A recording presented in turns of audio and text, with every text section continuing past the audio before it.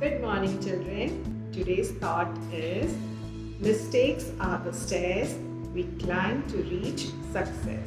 So, learn from mistakes and achieve your goal.